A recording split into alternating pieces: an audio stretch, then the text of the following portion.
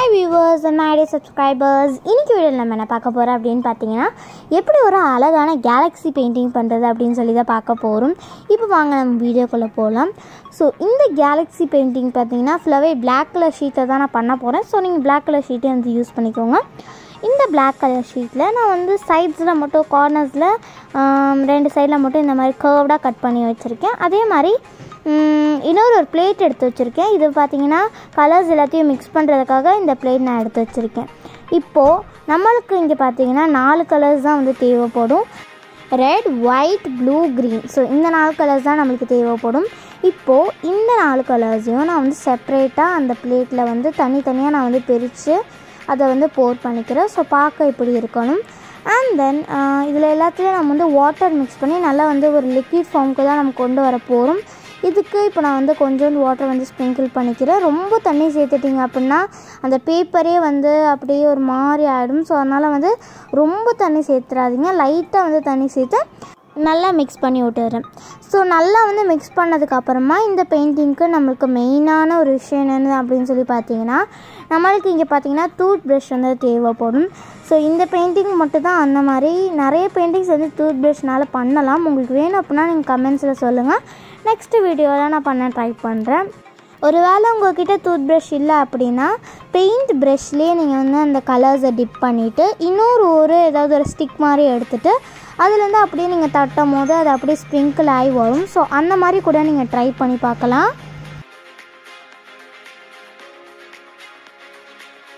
இப்போ நம்ம எல்லாத்தையும் மிக்ஸ் பண்ணியாச்சு கரெக்டாக நெக்ஸ்ட் இப்போ நம்ம அந்த பிளாக் கலர் ஷீட் நம்ம வச்சுருந்தோம் இல்லையா? ஸோ அதுக்கு அதே பிளாக் கலர் ஷீட்டில் நான் என்ன பண்ணியிருக்கேன் அப்படின்னு சொல்லி பார்த்தீங்கன்னா ஒரு கிராஸ் மாதிரி எஃபெக்ட்டுக்கு நான் கட் பண்ணி வச்சுருக்கேன். இது பார்த்தீங்கன்னா அந்த கிராஸ்லாம் வந்து இருக்கும் இல்லையா? ஸோ வீடு சைட்லலாம் போகும்போது அந்த மாதிரி இருக்கும்.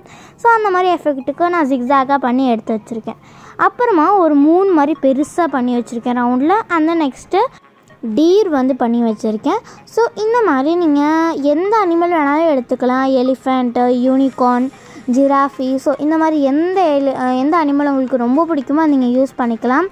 ஆக்சுவலி ஃபர்ஸ்ட் நான் யூனிகார்ன் தான் வந்து ட்ரை பண்ணலாம் அப்படின்னு சொல்லி நினச்சேன். பட் வந்து நான் யூனிகார்ன் வரையும் போது அப்படியே அது வந்து உல்ட்டாவாக டீராக வந்துருச்சு. ஸோ அதனால் அதை அப்படியே நம்ம டீராகவே வச்சுக்கலாம் அப்படின்னு சொல்லி நான் விட்டுட்டேன். இப்போ நெக்ஸ்ட் இந்த டூத் ப்ரஷ் பெயிண்டிங் நம்ம ஆரம்பிச்சிடலாம். இந்த டூத் ப்ரஷில் நீங்கள் கொஞ்சம் கொஞ்சமாக ஒரு ஒரு கலராக டிப் பண்ணி இந்த மாதிரி கை வச்சு இப்படி ஸ்ப்ரிங்கிள் பண்ணி விட்டுக்கலாம். விட்டும் போது நம்மளுக்கு வந்து இந்த மாதிரி வந்து ஒரு கொஞ்சம் கொஞ்சமாக நம்மளுக்கு டாட் டாட்டாக வரும். அது பார்க்க ஒரு கேலக்ஸி மாதிரியே ஃபார்ம் ஆகும். இப்போ ஃபர்ஸ்ட் ரெட் கலரில் வந்து கொஞ்சம் கொஞ்சம் ஸ்ப்ரிங்கிள் பண்ணி விட்டுக்குங்க. நிறைய ஸ்ப்ரிங்கிள் பண்ணிட்டீங்க அப்படின்னா நல்லாவே இருக்காது. ஓகே பார்த்தீங்கன்னா நான் வந்து ரெட் கலரில் முடிச்சிட்டேன். அதே மாதிரி க்ரீன் கலரில் நான் பாதி முடிச்சிட்டேன்.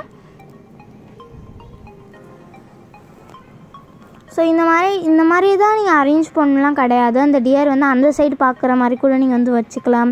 பட் எப்படி இருந்தாலும் வந்து பார்க்க ரொம்ப அழகாக தான் இருக்கும். ஸோ இந்த பெண்டிங்கை நீங்கள் ட்ரை பண்ணி பார்த்துட்டு எனக்கு ஃபீட்பேக்கை கமெண்ட்ஸில் சொல்லுங்கள் ஓகே இப்போ நம்ம பார்த்தீங்கன்னா ப்ளூ கலரும் முடிச்சாச்சு. லாஸ்ட்டாக தான் நம்ம இந்த ஒயிட் கலர் பண்ணோம். அப்போ தான் நல்லா தெரியும். நான் ஒயிட் கலர் பண்ணும்போது தெரியாமல் நான் நிறைய ஸ்ப்ரிங்கிள் பண்ணிட்டேன். அப்புறம் நான் வந்து தொடச்சி எடுத்துட்டேன். ஸோ பார்க்க இப்படி தான் இருக்கும். நெக்ஸ்ட் இப்போ இந்த மூணை நம்ம வந்து ஃபர்ஸ்ட் எடுத்துடலாம். ஸோ பார்க்க வந்து ஷேப்பாக அழகாக வந்திருக்கும்.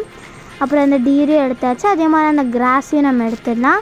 இதோடய உங்களுக்கு பெயிண்டிங் முடிக்கலாம் முடிக்கலாம். பட் எனக்கு என்னமோ இன்கம்ப்ளீட்டாக இருந்த மாதிரி இருந்துச்சு. ஸோ அதனால நான் என்ன பண்ணுறேன்னா ஃபர்ஸ்ட் இந்த மூணுக்கு ஃபுல்லாக நான் வந்து இந்த மாதிரி அவுட்லைன் கொடுத்துக்கிறேன். மூணு எல்லாத்துக்குமே நம்ம வந்து ஒயிட் கலர் அவுட்லைன் கொடுத்துக்கலாம். அந்த டீருக்கு மட்டும் நான் கொஞ்சோண்டு வந்து டிஃப்ரெண்ட்டாக ரெட்டு கலர் மாதிரி நான் அவுட்லைன் கொடுத்துட்டு வெ வெளியே வந்து ஒயிட் கலரில் அவுட்லைன் நான் கொடுத்துருந்தேன். பார்க்க அதுவும் நல்லா தான் இருந்துச்சு. இப்போ பார்த்தீங்களா அதே டியர் நம்ம ஒயிட் கலரில் பண்ணி வச்சுருந்தோம். அதை கட் பண்ணதே அப்படி நான் ஸ்டிக் பண்ணிட்டேன். அதே பார்க்க நல்லா தான் இருந்துச்சு. ஸோ அவ்வளோதான் நம்மளோட ட்ராயிங் கம்ப்ளீட் ஆகிடுச்சு ரொம்பவே சூப்பராக இருந்துச்சு. இப்போ தான் ஃபர்ஸ்ட் டைம் என் ஷேர் சேனலுக்குள்ளே வரீங்கன்னா மறக்காமல் சப்ஸ்கிரைப் பண்ணிக்கோங்க. லைக் பண்ணுங்கள் ஷேர் பண்ணுங்கள் கமெண்ட் பண்ணுங்கள் தேங்க்ஸ் ஃபார் வாட்சிங் நெக்ஸ்ட் வீடியோவில் பார்க்கலாம். Until bye bye